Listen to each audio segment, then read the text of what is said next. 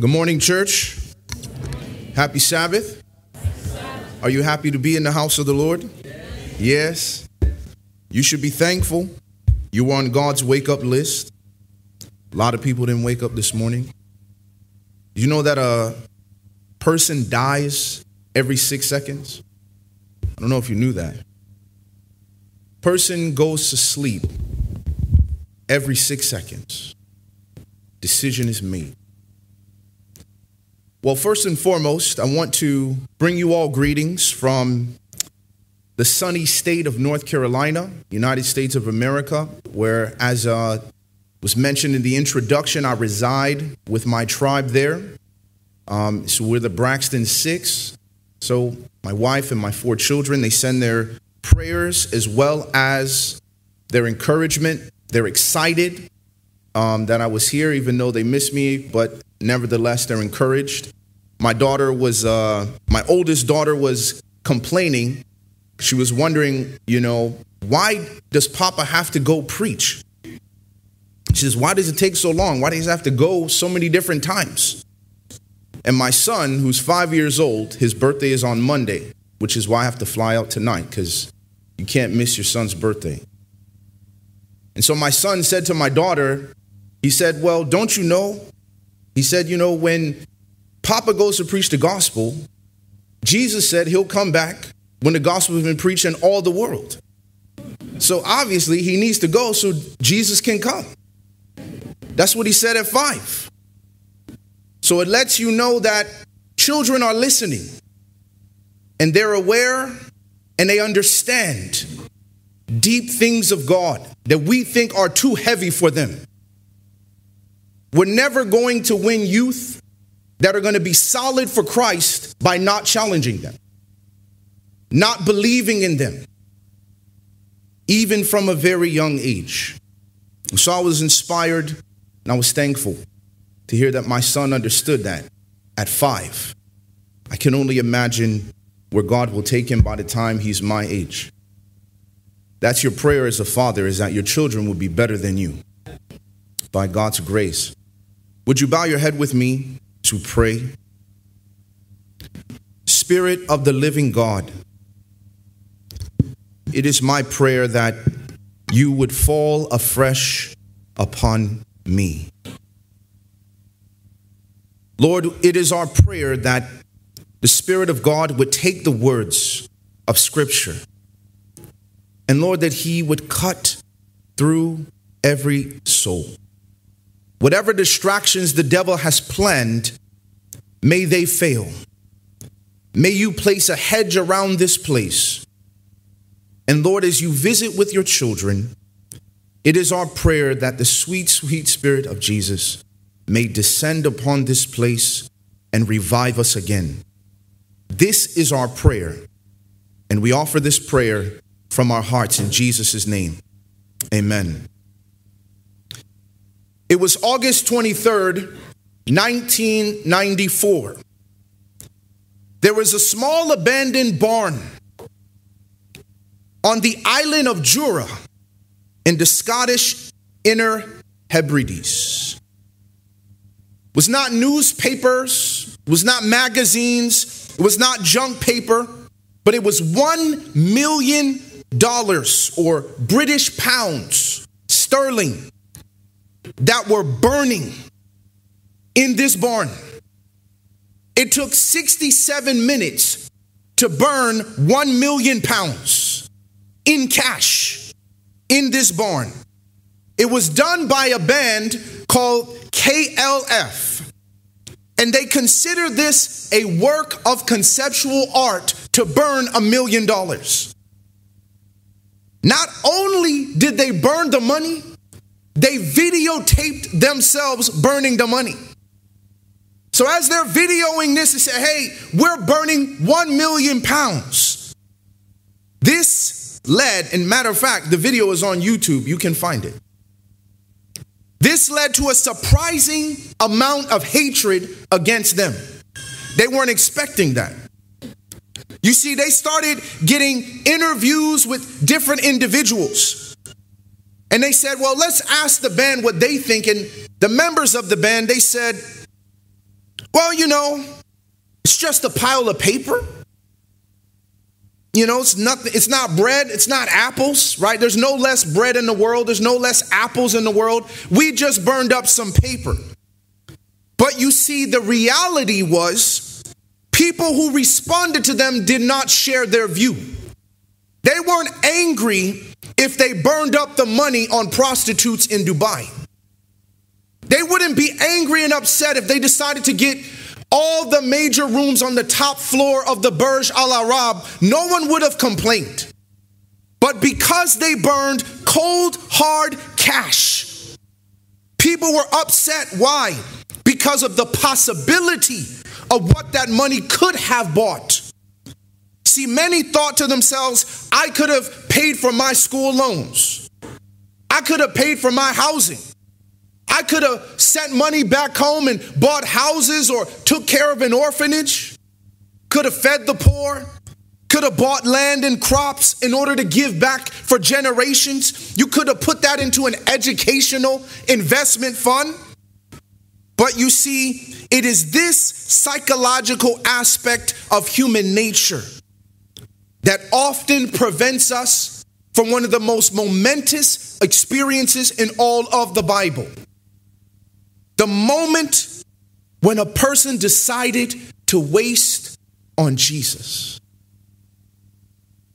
See, it's not just this $1 million in a barn that people get upset about. There's a story in the gospel in which an individual decided to spend something very expensive on Jesus. And it was interesting. It was not the atheists, it was not those who were unbelievers who were complaining, it was fellow disciples. Wondering why would you even do this particular waste? I want you to take your Bibles and I want you to go with me to the Gospel of Mark, chapter 14. What book did I say? Okay, what chapter? 14. That's right, beginning in verse 3.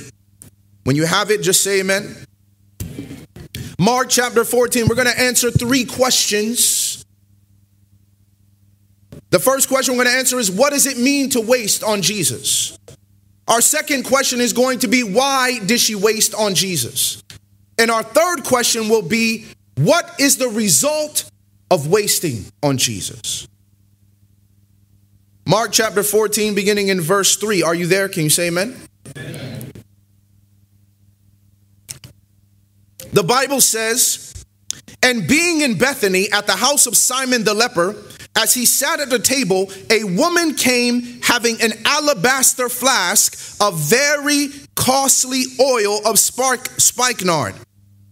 Then she broke the flask, poured it on his head.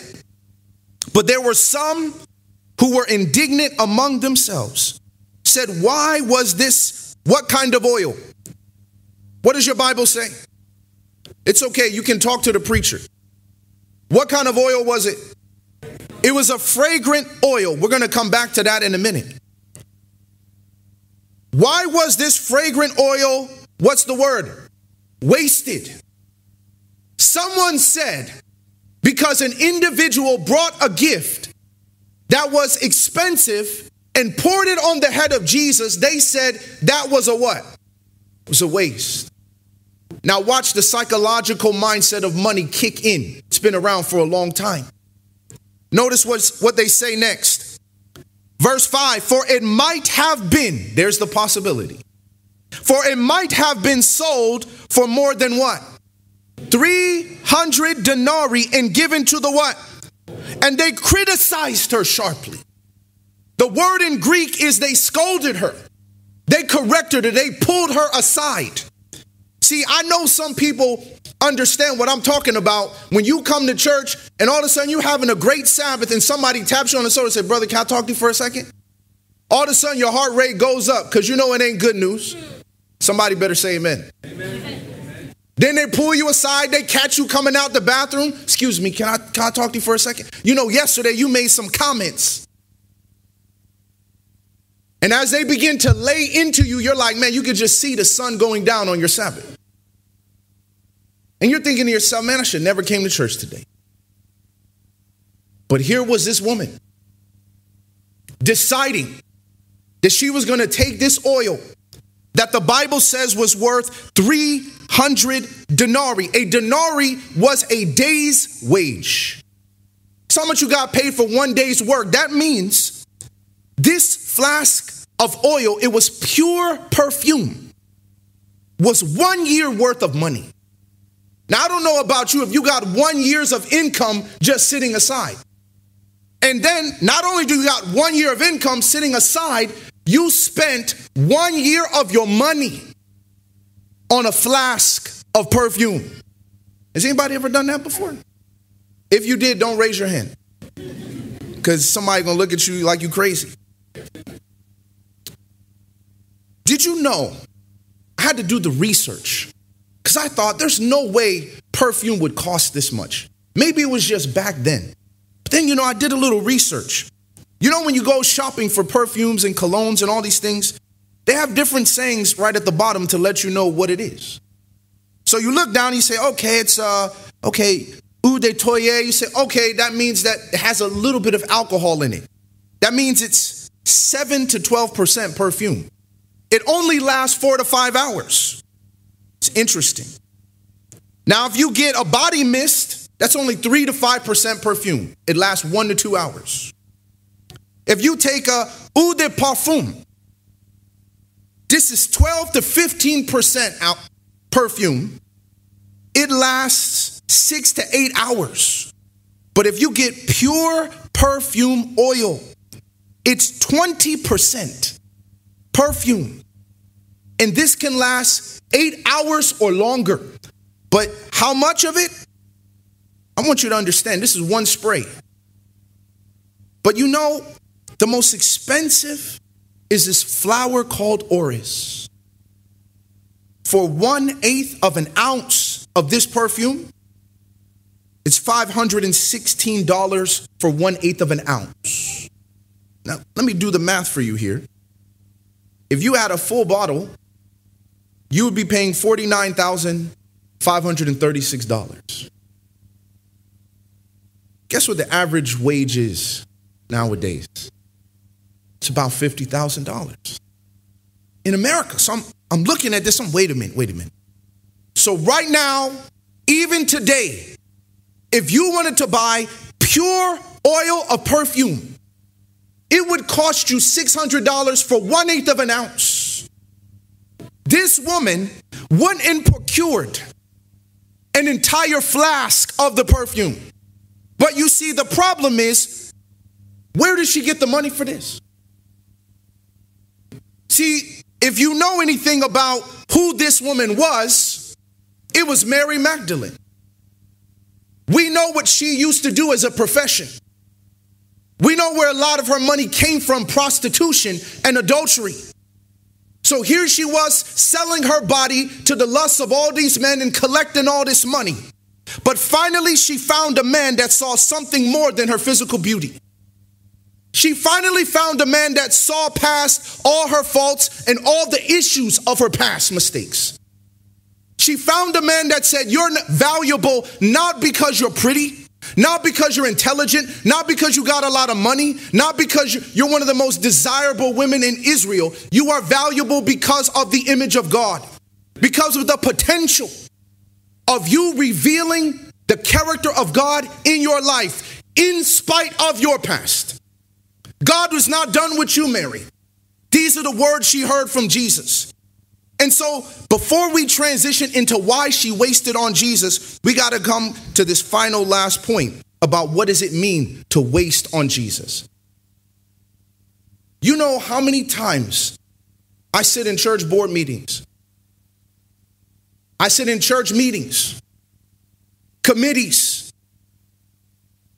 and people will sit and nickel and dime you for basic stuff in the church.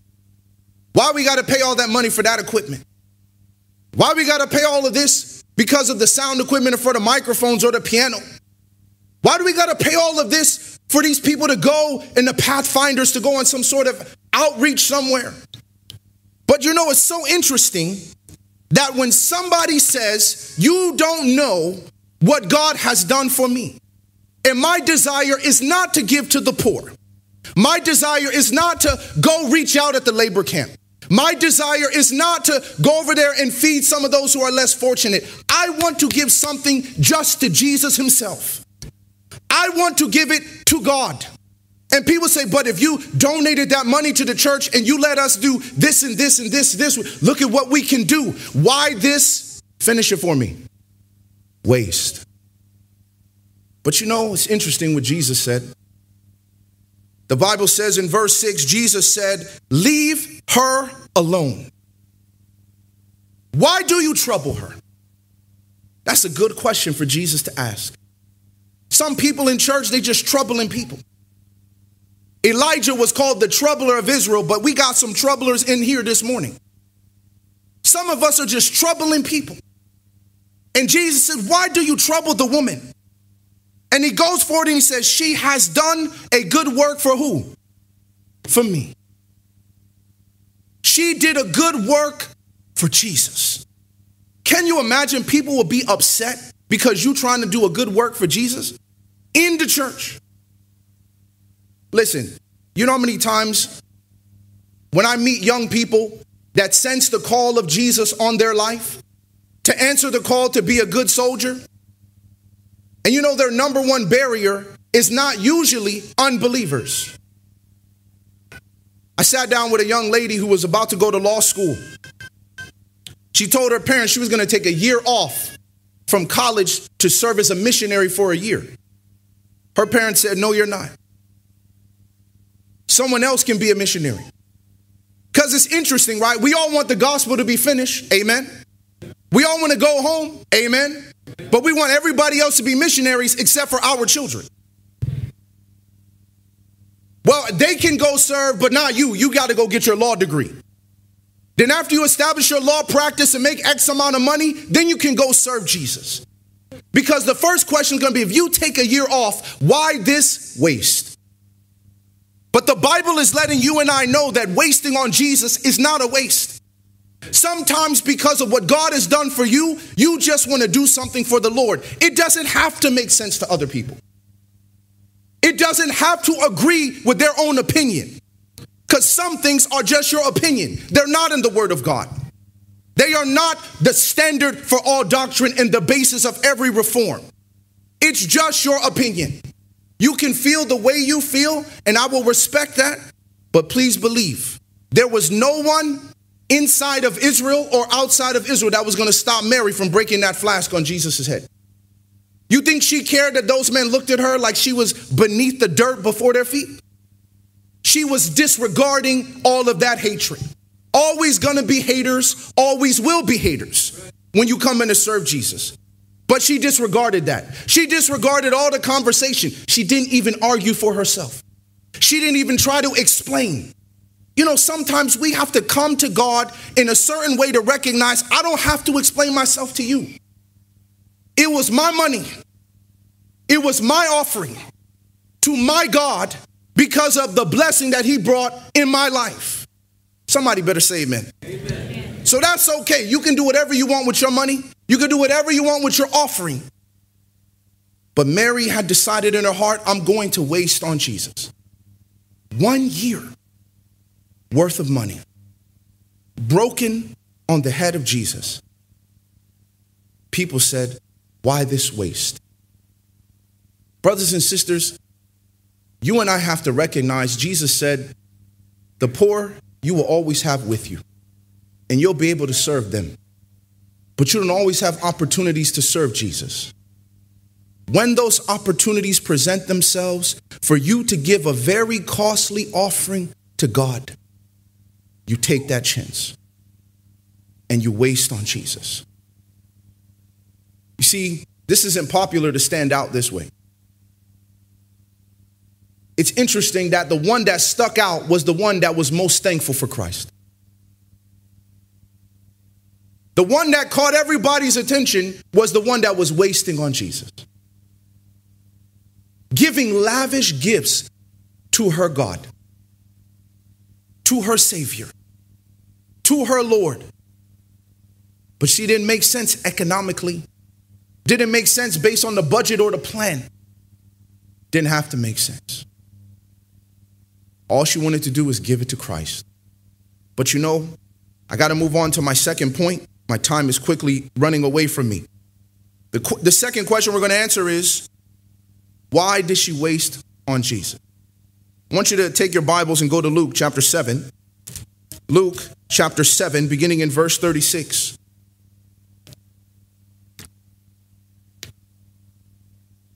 Luke chapter 7, in verse 36.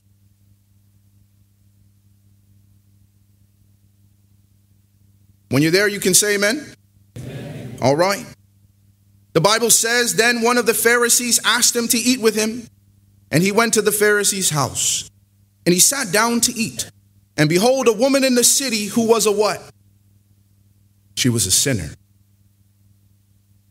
When she knew that Jesus sat at the table in the Pharisee's house, brought an alabaster flask of fragrant oil, and stood at his feet behind him, what was she doing?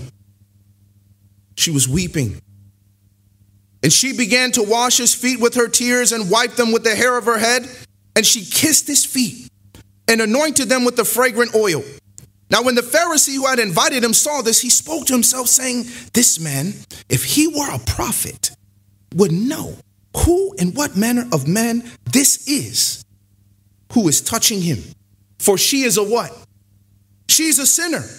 And Jesus answered and said to him, Simon, I have something to say to you. You know, God can read your judgmental thoughts. so he said, Teacher, go ahead and say on. There was a certain creditor who had two debtors. One owed 500 denarii, the other 50. And when they had nothing with which to repay, he freely forgave them both. Tell me, therefore, Simon, which of them will love him more? Simon answered and said, I suppose the one whom he forgave more. And he said to him, You have rightly judged. Then he turned to the woman and said to Simon, Do you see this woman? I entered your house and you gave me no water from my feet. With her tears, listen to this. She washed my feet with her tears and wiped them with the hair of her head. You gave me no kiss but this woman has not ceased to kiss my feet since the time I came in. You did not anoint my head with oil, but this woman has anointed my feet with fragrant oil. Therefore, I say to you, her sins, which are many, are forgiven, and for she loved much. But to whom little is forgiven, the same does what? Loves little. You say, why is this woman wasting on Jesus? She's wasting on Jesus because she feels as if God has forgiven her an irreparable debt that she cannot repay. The man said, This woman is a sinner. If you knew who she was, you wouldn't even let that woman touch you. How many men have been through that woman? And you are the God of the universe, the holy God, Jehovah, that sits exalted, the most high. And you would let this lowly woman who has sold her body for money touch you?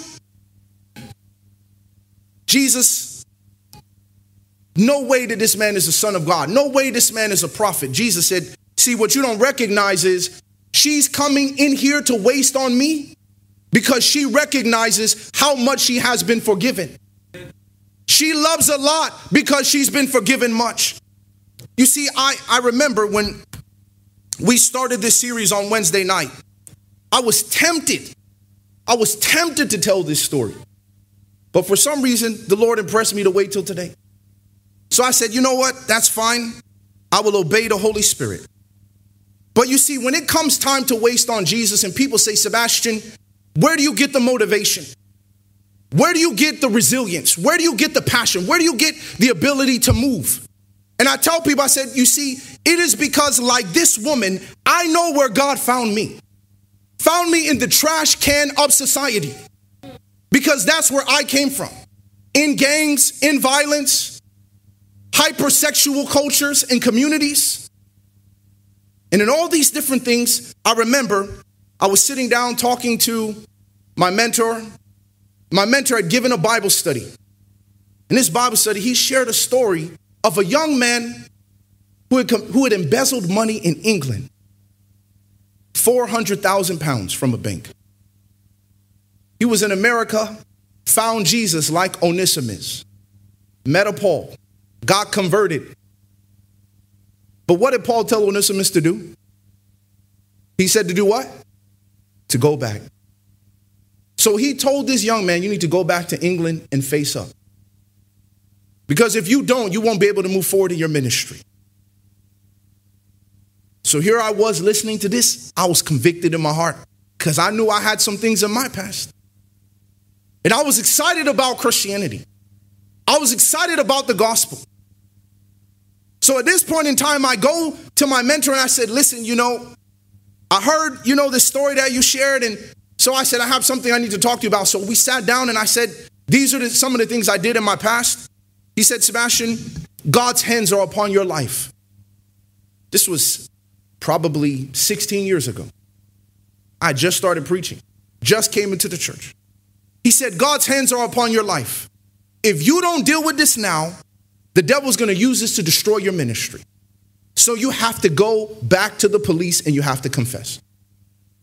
I bought a ticket, flew down to a detective, called him, walked into his office, and said, Yeah, there's some things I need to confess. So I'm sitting in this detective's office. This man is beside him. He cannot believe it. And I remember I was sitting there talking to my spiritual mother at the time.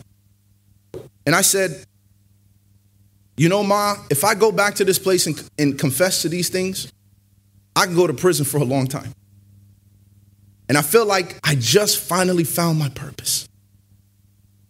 She said, Sebastien, you need to recognize you choose who you serve. You don't choose where you serve. So if God lets you go to prison, then God wants you to serve him in prison. If God decides you're not going to be free, you're going to be free, then you better serve him in freedom. But you already chose who you're going to serve. So that's the mindset you must bring. So I went down, confessed to this detective, left the office, and he said, All right, we'll be in touch. I'm like, we'll be in touch. I just confessed all these crimes. You're not going to arrest me? He said, no, no, we got to, you know, there's a process. And sure.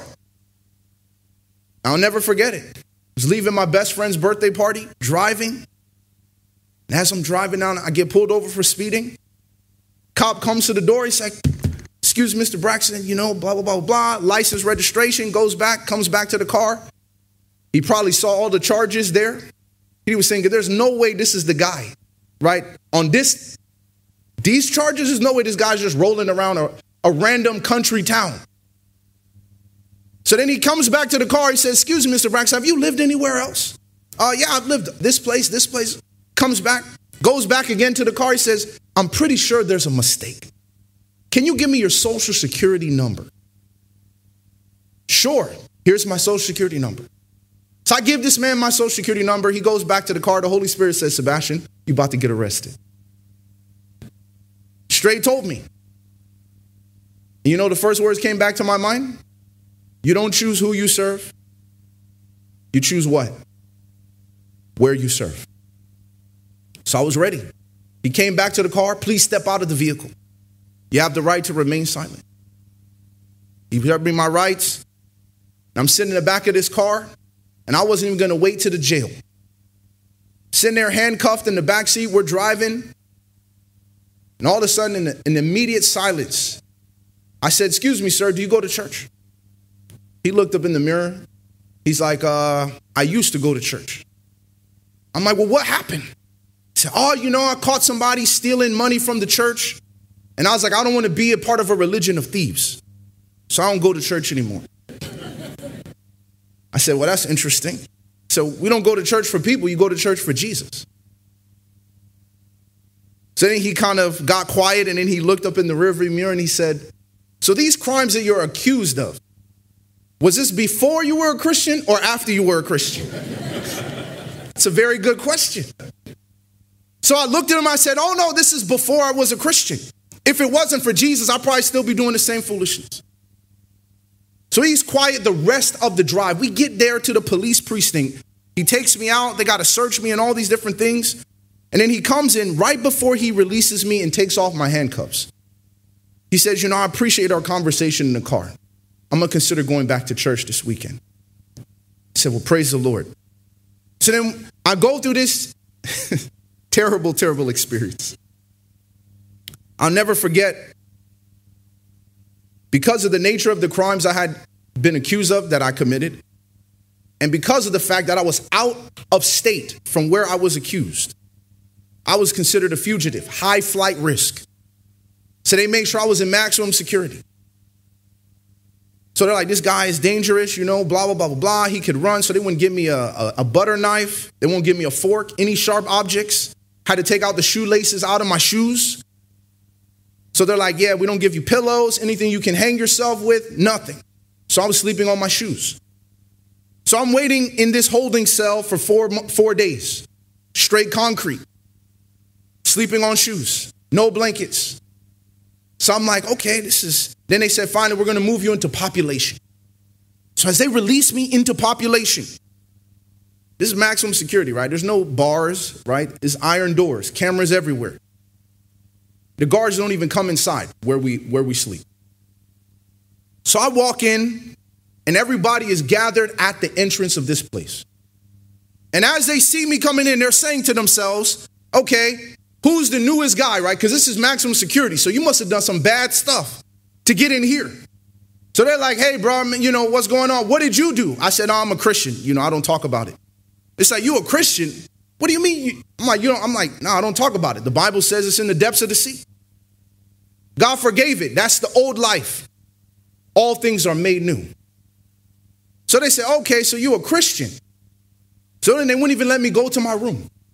They said, all right, all right, since you're a Christian, we got this brother over here. His name's Michi. He got caught with $1 million of marijuana by the police. He was like 18 years old. So he said, you know, he wants to find God's will for his life. Can you help him? Sure. So he throw this guy and me in the middle of the circle, in the middle of prison. This is not a joke. Tell him how to find God's will for his life. So I said, okay, well, if you want to find God's will for your life, I quoted Psalm 119, 105. I said, you know, God doesn't always reveal everything. So you walk in the light that God has given. And then John 7, 17 says, if any man wants to do know his will, he must first agree to do it. Then you will know. You can't come to God like the news. Can I know your will? And then decide not to do it. I said, You got to commit, Lord, I will do your will. Now tell me what it is. Then I left the circle, went to my room, sat on my bed. My roommate, he's like, Hey, what's going on? My name's Alabama. I was like, Like the state? He's like, Like the state, Alabama. I said, Okay, nice to meet you. Then I looked down at the floor and I noticed that my bed does not have a mattress. He says, Yeah, man, they forgot to bring your mattress. Right? Then I look at his bed, it's got two mattresses. and I'm like, all right, this is interesting. So I said, no problem, I'll call the guards. So I'm sitting down and I'm just taking in the fact that here I am sitting, maximum security. Before that even happened, I get a knock at my door. Excuse me, brother, can I talk to you for a second? So this muscular dude tells me, hey, man, I want to I wanna talk to you for a second. So I'm like, all right, sure. So I'm following this guy. He's like, yeah, I want you to come to my room. So I'm following this guy to his room. Of course, like every jail movie I've ever seen is coming through my mind. So I'm like, man, you know, Lord, you know, I was a Marine. I don't have to kill nobody in prison. I don't know what's gonna happen. So I follow this guy, sit down in his room, then he takes the blanket, covers the window and the camera. So I'm like, man, my heart's about to jump out of my chest. I'm like, man, this is day one. I just got here. The man looks at me and he says, You know, I'm getting out in a few months, and I have a fiance, and we are we're gonna get married. But you know, we're Christians and we're trying to figure out how to have a Christ-centered marriage. And when I heard you quoting the Bible, because you didn't have a Bible, but you were quoting it, I thought, man, maybe this brother could teach me how to have a Christ centered relationship. I'm like, this is why you brought me in here? He's like, yeah, I, I want to know if you can teach me how to do that. I said, well, I don't have a Bible. I mean, I don't know all the verses. And he says, oh, they won't give you a Bible? I said, no, they're afraid I'm going to paper cut myself to death. This is literally what they told me. So I was like, okay, Matthew, Mark, Luke, John. It's like, man, 66 books, he'll bleed to death, then he won't have to serve. This is what they told me. So he said, well, go to this brother in this other room. So I follow out of the room and go to this guy, looked like the Godfather, right? He had long beard, all gray, everything. And so I walk in, I'm like, excuse me, they told me um, I could get a Bible in here. So this guy lifts up his mattress and he says, I have King James, New King James, NIV. what translation do you want? That's when I realized all these prison movies are wrong. Not how it is at all. So I'm like, let me get the New King James. He's offering me Bible lessons on Jude. He's like, yeah, man, these are really good. You should take these. We're not supposed to have books. So they're basically, you know, smuggling these things in. So I take the Bible, go back. The guy says, hey, my roommate wants to join the Bible study. I said, sure. So he puts the blanket back up. We start sitting down. I start the Bible study. By the time I was done with this Bible study, every prisoner was in that room listening to the Word of God. So, of course, you already know, you heard me preach this week. I can't preach without making an appeal. So, at the end of the, the Bible study, I'm like, all right, how many of you, right? You're going to commit, right? No sex before marriage, right? I'm, I'm going through all these things. So I'm like, raise your hand. These guys raise their hands, answer the appeal. I say a closing prayer. Then the Godfather guy comes up and he's like, listen, man, you're a prophet. I said, no, I'm not a prophet. He says, No, you're a prophet. God sent you to us to teach us the Bible. You got to give us Bible studies twice a day. I'm like, Excuse me? He's like, Yeah, you're going to give us Bible studies in the morning, in the afternoon. Now, you know what's crazy is out here, you can't get people to come to a Bible study. You go to prison, they're telling you you're going to give me a Bible study. Otherwise, you know what's going to happen.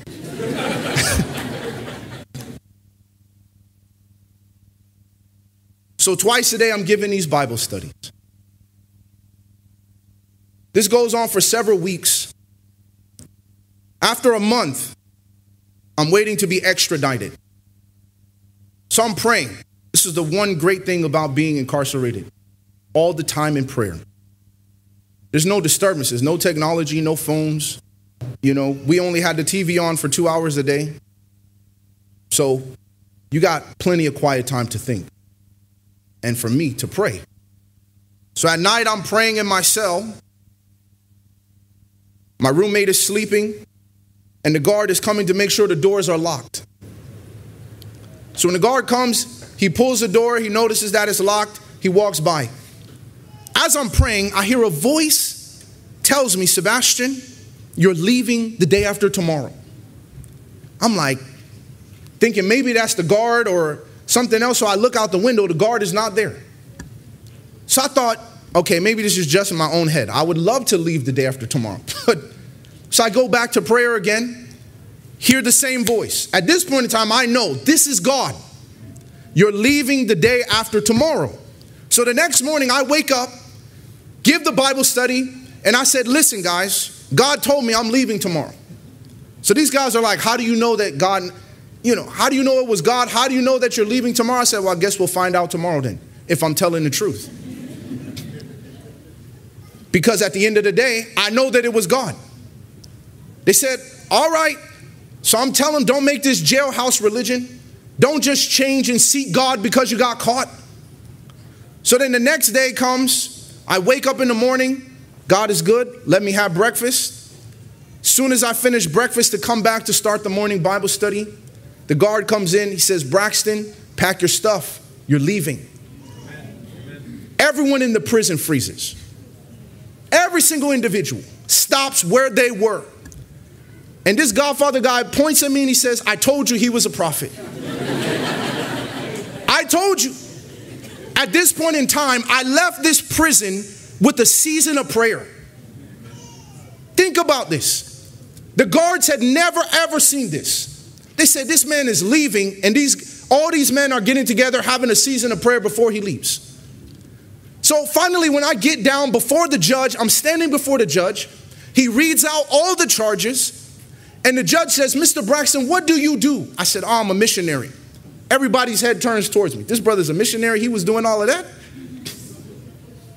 So he looks and he says, Mr. Braxton, you don't sound like a criminal. I said, Well, praise the Lord, because I'm for sure I'm a criminal.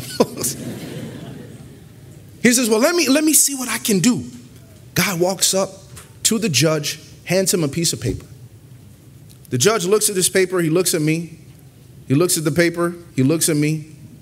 He says, Mr. Braxton, um, we're still investigating your case. And um, apparently, three months ago, or by this time it was four or five months ago, someone had signed this paper that said that uh, as long as you agree not to disrupt the investigation, you can go free. So you never had to go to jail in the first place. I'm like, excuse me? He said, yeah, when they picked you up and arrested you, if you had signed this, they couldn't arrest you. He would have just given you a speeding ticket and sent you on your way. So why, how come, he said, I don't know why it didn't reach you, but it was signed two months before you even got stopped by that police officer. Amen. So then I knew. Why was I there? Because God wanted me there. But there was something else he was trying to teach me. Not only was he giving me a powerful testimony, as he was dealing with my past, but God was doing for me exactly what he had helped Mary to do, which was to overcome who she was. Realizing that walking the halls of that prison, my nickname was the good brother. That's what people call me. They said he's the only vegan in here. My tray was a different color than everybody else's tray. They said, Oh man, that's good brother's food. Don't mess with that food. They're like, God's gonna strike you dead. Don't even touch his food. This is the mindset that people had. And all of a sudden, I'm thinking to myself, because they said every other person here will automatically argue that they are innocent. But the one brother walking the halls that says, I turned myself in, I confess, I owned up, this is my past, is the one person everybody says, you don't deserve to be in here. When I know I deserve to be in there. 100% behind bars for a long time. But yet, because of what God has done, and said, Sebastien, I know that you committed some terrible things. I know that you did things you wish had never happened. I know you did things in your past that continue to haunt you. But you need to know after you're walking the halls of this prison that you are not the same man that you once were that through the power of the grace of God, you have been saved by the gospel. So, Sebastien, you got to ask yourself a question right now Do you believe that the gospel can transform? Do you believe that you're a different person? Do you believe that when you are in Christ, you are a new creature? That all things are passed away, and behold, all things, not some, not half, not 80%, not 95%. All things have become new. So then, when people come and say, Sebastien, when do you rest? When are you going to take a break? When are you going to stop giving the Lord the best years of your life? Giving your youth to surrender to his cause. Because everyone says, Sebastien, you studied finance. You, were, you could have been working for an investment bank making six figure income at 23.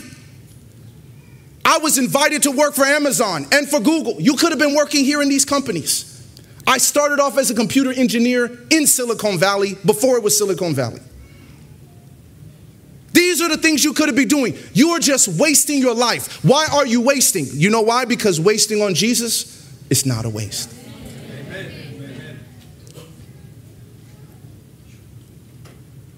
See, you love much when you've been forgiven much. But if you think your little sins are petty little sins, you think your mistakes are just, oh, white lies and little issues here and there, and I've had a little jealousy in my life, you're gonna love Jesus very little. But when you understand the ugliness that is in the basement of your soul, when you understand the dark, dastardly things that God says, I'm gonna take you just as you are. Your beat up, broken life, He says, I'm gonna take it. Because let me tell you what I can do with just these broken pieces of a man shattered by your own shame of your past. But Sebastien, I need you to know in the hands of God, this is what I can do. That's why I know when God called me to ministry, He was scraping the barrel of society. He was digging. I need somebody. Worst of the worst. That's why when God first called me, I wouldn't even answer the call. People would email me about coming to a preaching event, I wouldn't even respond. Because I said, I know who I am. I know the things that I've done, I know where I come from. No way. I can stand up there and preach. My mother to this day, she says, of all my children, I would have never in a million years. Just like David, Jesse didn't even call David Samuel. For sure it's not him. My mom was like, there's no way. Not Sebastien. And yet here we go. Why should you waste Jesus? Because you understand you have been forgiven much. See, now we gotta say, what is the result of wasting on Jesus? Because my time is basically expired. I want you to go to John chapter 12. This is where we're going to end. John chapter 12.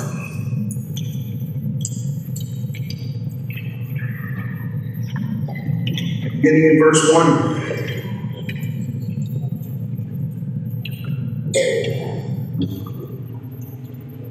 John 12 and verse 1. The Bible says, Then, six days before the Passover, Jesus came to Bethany now, Matthew tells us that this event with this woman happened two days before the Passover, but six days before he came to Bethany, where Lazarus was who had been dead, whom he had raised from the dead.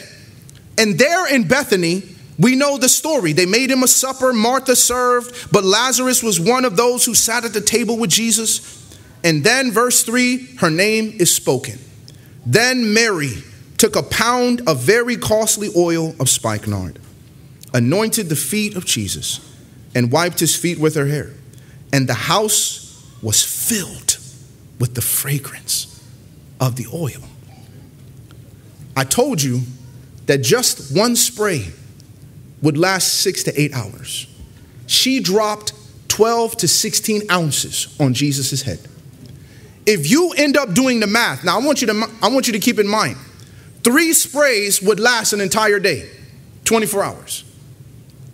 She put the entire bottle two days before the Passover. So if you calculate it, this oil was on Jesus' body for up to five days.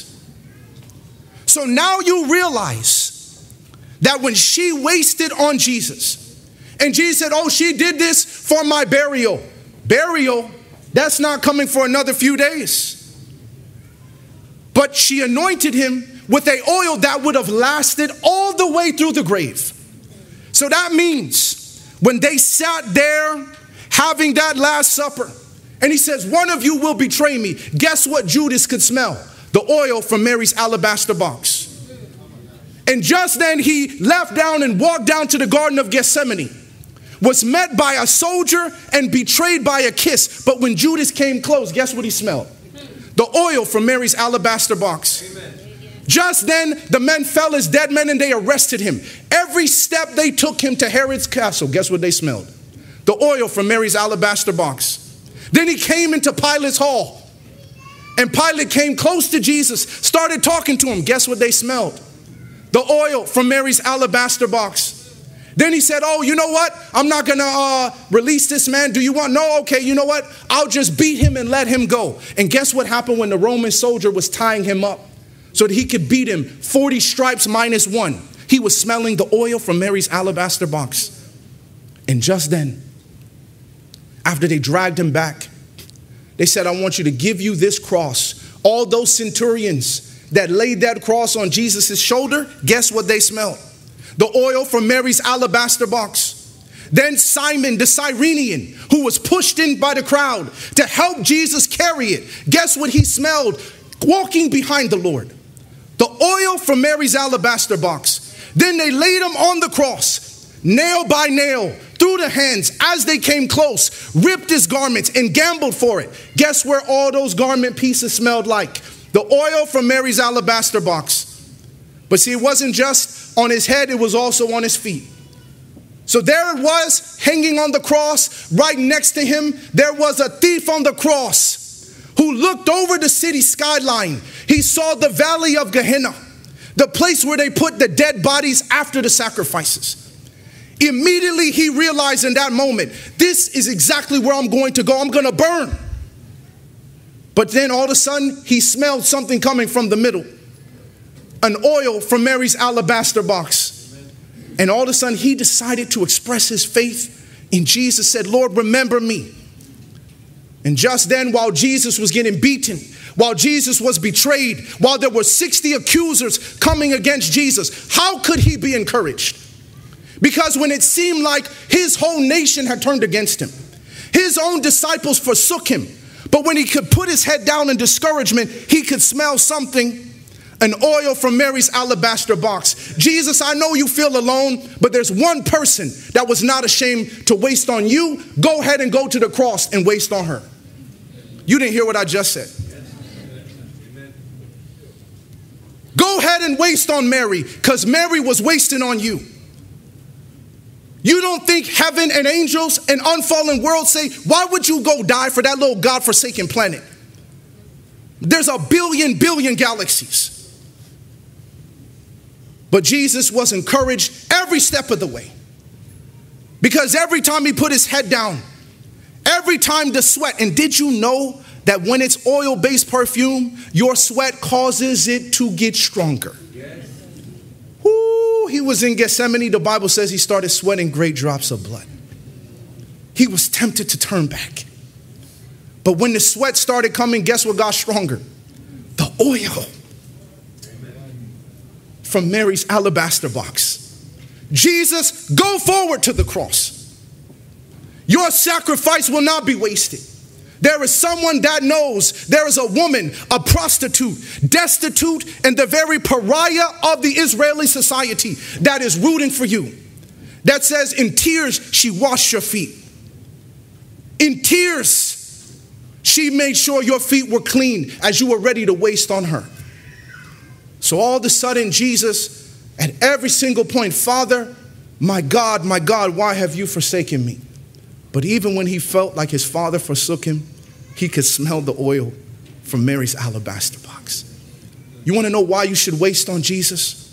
Because it encourages Jesus to continue to press on.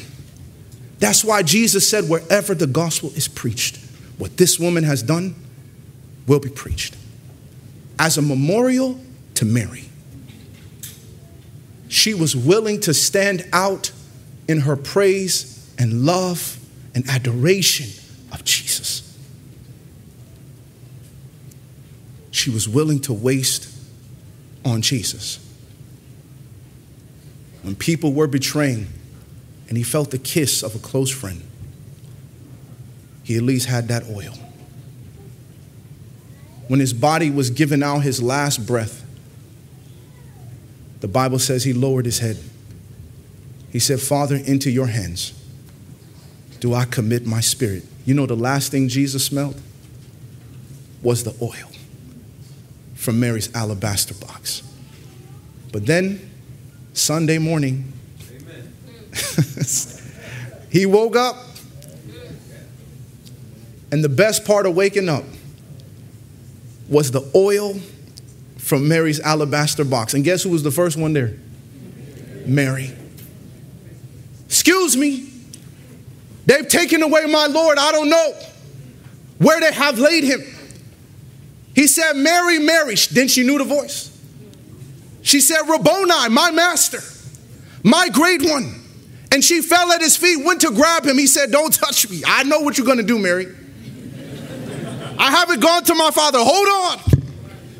Yes, I know you're ready to praise. I know you're ready to worship. I know you're ready to surrender and love on Jesus. Just give me a second. I got to handle some business.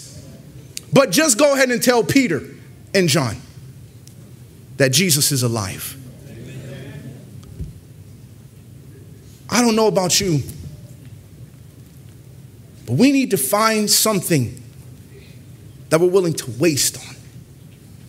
And when you give your all, people say, Why this waste? Because wasting on Jesus is not a waste. Every step to the cross, there was the silent encouragement of Mary's gift, a fragrant oil that got stronger at Gethsemane, that got stronger at the cross, that got stronger as he was beaten, got stronger as his blood shed to encourage Jesus. You keep going.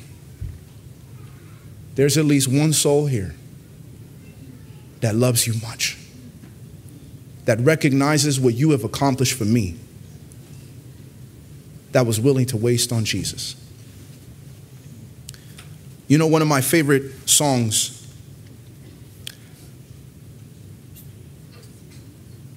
It's a song that's called What If I Give All I Have?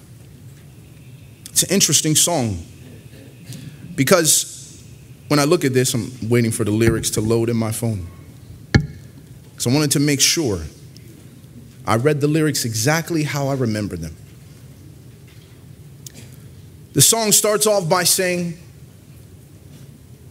He heard the preacher say, A single dime can feed a hungry boy or girl with nothing to eat. So he pulled a dollar from the pocket of his jeans and he asked his mama, How many will this feed? She just smiled, and when she told him 10, he reached back in again and said, What if I give all I have?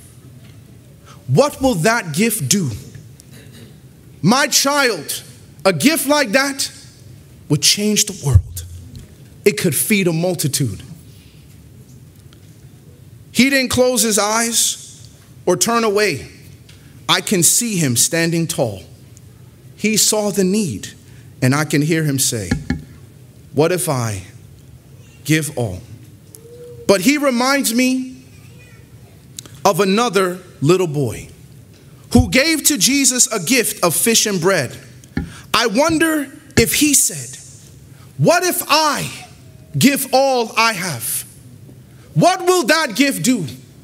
My child, a gift like that could change the world, it could feed a multitude. And long ago, a father and a son saw the children lost in sin.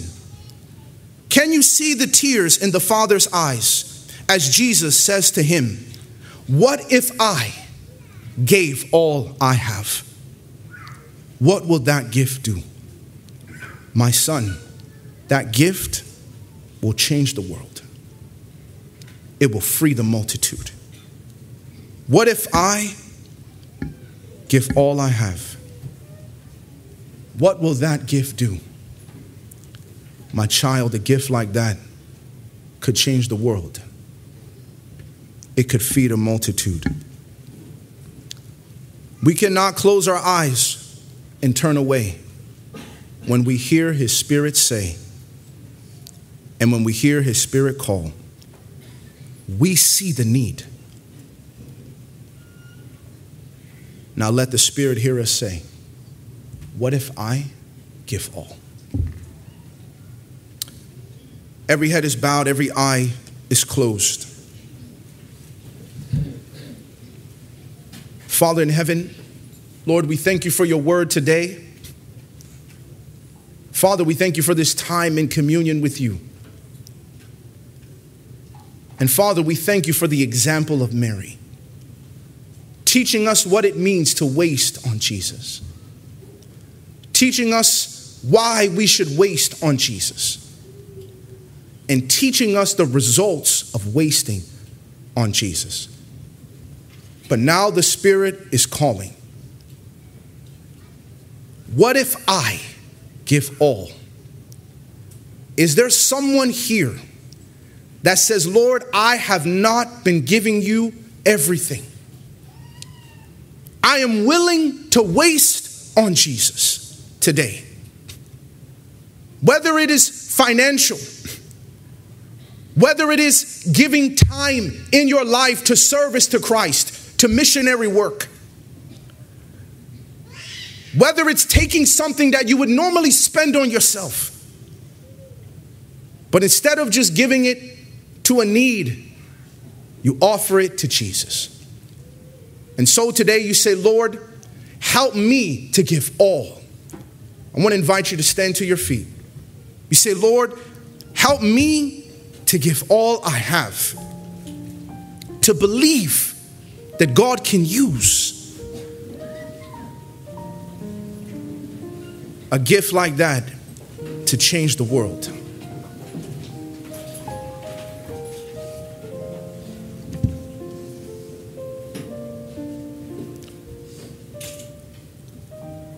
I want to make an appeal. First appeal is some individual here, maybe you haven't made a full surrender to Jesus. But you are sensing that Jesus is calling you to surrender your life to Him completely. Maybe you surrendered parts of your life, but you haven't surrendered all of your life. And tonight you're ready to make that surrender. Today you're ready to give it all to Jesus. I want to invite you to come to this altar and make that full surrender to Christ. If that's you, just slip out and come. Don't be afraid, do not be ashamed. Making a surrender to Jesus is one of the happiest days of my life. And it could be one of the happiest days of yours today. Is there anyone here that has not made a full surrender to Jesus? And you sense that He's calling you. I want you to slip out and come. Right here. Doesn't matter how old, it doesn't matter how young. It always starts with one that has the courage to make that surrender. Come. Praise the Lord. I need to make a full surrender to Jesus. And I'm going to do it today. Every aspect of my life, I'm going to make a full surrender to Jesus. Come quickly. Don't be ashamed. This is where your peace is found, is in full surrender to Jesus.